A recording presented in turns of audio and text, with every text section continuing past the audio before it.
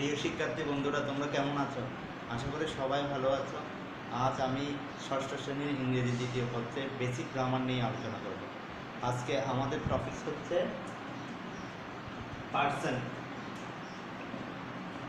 what is the person person কাকে বলে? তাহলে পার্সন কাকে বলে আমাকে প্রথমে জানতে হবে। পার্সন হচ্ছে যে গ্রামারের পরিভাষায় প্রণামকে পার্সন বলা হয়। গ্রামারের পরিভাষায় প্রণামকে পার্সন বলা হয়। তাহলে কাইন্ডস প্রকার পার্সন কয় প্রকার, তিন প্রকার। First person second person and third person what is the first person first person the first person is the person speaking অর্থাৎ বক্তা যখন নিজে কথা বলে, বক্তা যখন নিজে কথা বলে, ওটা হচ্ছে যে first person example of the first person I we my my us our ours তো শিক্ষার্থী বন্ধুরা, তোমরা বুঝতে পারছ? তাহলে ফার্স্ট পার্সন কাকে বলে?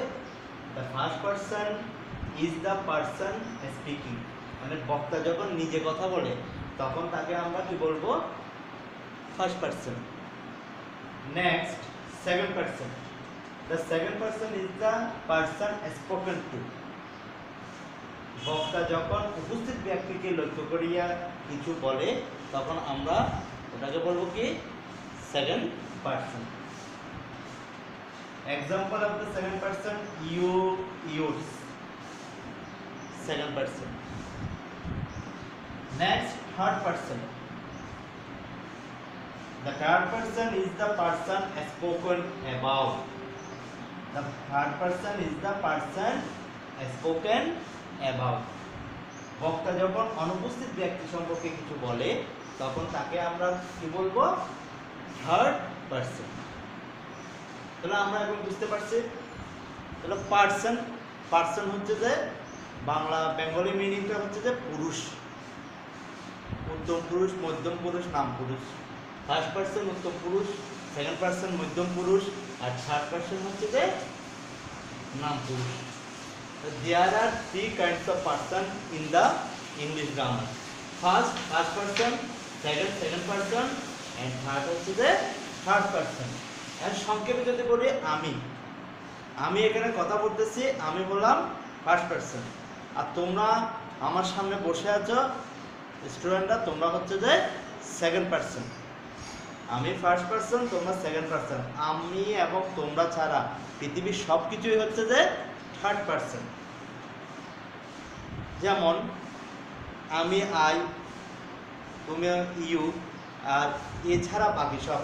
আমি যদি বলি আমার এই কলমটা পেন এটা কোন পার্সন থার্ড পার্সন যদি বলি এই হোয়াইট বোর্ডটা কোন পার্সন হোয়াইট বোর্ডটা হচ্ছে যে থার্ড পার্সন তেমনই যদি বলি এই ডাস্টারটা, কোন পার্সন এই ডাস্টারটা হচ্ছে যে থার্ড পার্সন তো তোমরা সহজেই বুঝতে পারছ পার্সন তোমরা যে কি গ্রামার করতে যাও ভয়েস করতে যাও ন্যারেশন করতে যাও রাইট ফর ভার সব কিছুর ক্ষেত্রে তোমার পার্সন সম্পর্কে নলেজটা থাকতে হবে। আমরা এটা জানি খুবই সহজ একটা গ্রামার কিন্তু অনেকে আমরা ভুল করে ফেলি।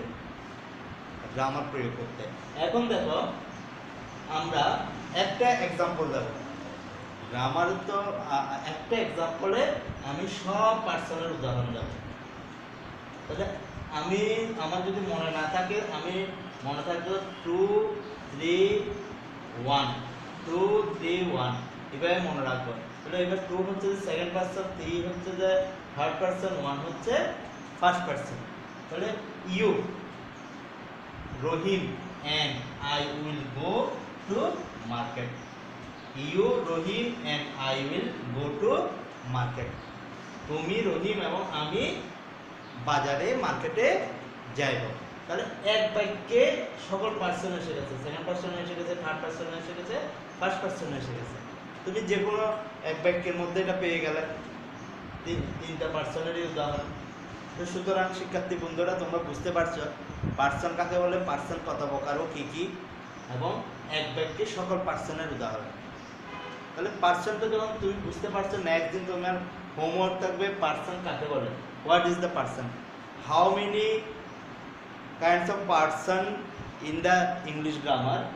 and uh, give the example of